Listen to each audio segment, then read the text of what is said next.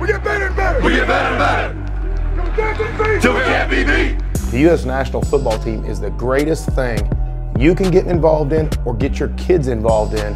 Let these kids go learn from some of the greatest coaches around, become better football players, better people, and better leaders. But at the end of the day, it's fun. USA football is more than football. USA football is a chance to be a part of football, to play football for America, for the United States of America. It's a chance to do what you love doing.